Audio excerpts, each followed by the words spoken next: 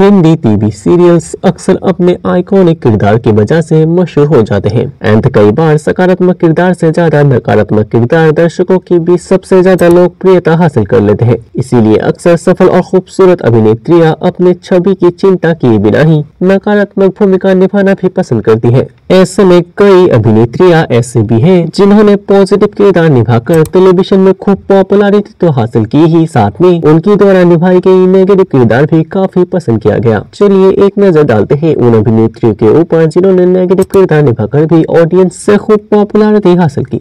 सबसे पहला नाम है Anita Hasnandani. Popular TV actress Anita Hasnandani ने टीवी शोज़ के साथ कई सारे बॉलीवुड फ़िल्मों में भी काम किया है। टेलीविज़न पर उनके काम कभी सौतन, कभी सहेली, काव्यांजलि और एह मोहब्बत जैसे टीवी शो शामिल है। अनीता हसनंदानी हमेशा नकारात्मक भूमिका नहीं निभाती है, लेकिन टीवी शो ए है मोहब्बत में उन्होंने शगुन नाम की नेगेटिव किरदार प्ले किया था। शो में उनकी भूमिका को दर्शकों द्वारा बेहद ही पसंद किया गया। यही वजह है उन्हें नागिन जैसे पॉपुलर शो में भी नेगेटिव किरदार निभाने का मौका मिला। दूसरा नाम है रश्मि देसाई। रश्मि देसाई छोटे पर्दे की मशहूर एक्ट्रेस और डांसर है। उन्होंने अधूरी कहानी हमारी दिल से दिल तक एंड नागिन जैसे कई सुपरहिट शोज़ में काम किए। लेकिन टेलीविज़न पर उनकी सबसे लोकप्रिय कैरेक्टर कलर्स टीवी की पॉपुलर टीवी शो उत्तरन में निभाई गई किरदार तपस्या के रूप में थी। वेल इस शो में भले ही रश्मि देसाई नेगेटिव किरदार में नज़र आई मगर इस शो में नकारात्मक किरदार के लिए ही रश्मि देसाई को इस इंडस्ट्री में पहचान मिली और वो घर घर जाने जाने लगी।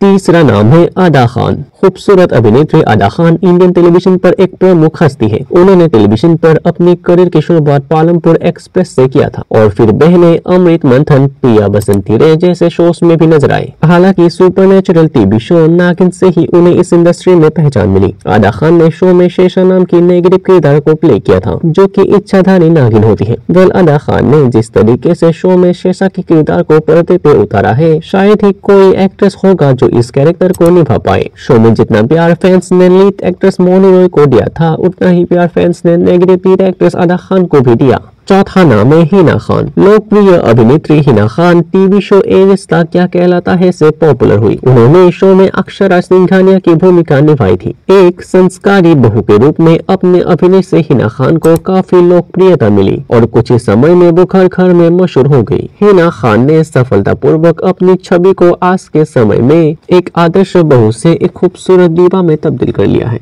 वेल पॉजिटिव किरदार निभाकर मशहूर हुई ये अभिनेत्री को नेगेटिव किरदार में भी उतना ही पसंद किया गया था, जितने की पॉजिटिव किरदार में। उन्होंने कसौती ज़िंदगी की शो की दूसरी सीज़न में उर्वशी थोलोकिया की आइकॉनिक कैरेक्टर कोमोलिका के रोल को प्ले किया था। पाँच बार नाम है जेनिफर विंगीत टेलीविज़न की स्टाइलिश दीवा जेनिफर ने एक तो पॉजिटिव किरदार निभाकर काफ़ी लोगों का दिल जीता। हालाँकि उनकी द्वारा निभाई गई नेगेटिव किरदार भी किसी से कम नहीं। जेनिफर ने 2016 में सोनी चैनल पर बेहद नाम की टीवी शो में माया नाम की नेगेटिव किरदार प्ले किया था, जो एक साइको लवर होती है, जो अपने प्यार को पाने के लिए किसी भी हद तक चली जाती है। शो में जिस ऑनेस्टी और डिग्निटी के साथ जेनिफर ने माया के किरदार को प्ले किया था, लोग उनकी फ़ैन हो गए। इसलिए हमें इस शो का दूसरा सीज़न भी देखने को मिला। वेल इस शो में जेनिफर विंगेट के साथ लीड में अनेरी बजाने को भी देखने को मिला था। हालाँकि उनसे ज़्यादा जेनिफर की नेगेटिव किरदार ने ही ऑडियंस का ध्यान अपनी ओर खींचने में कामयाब रहा।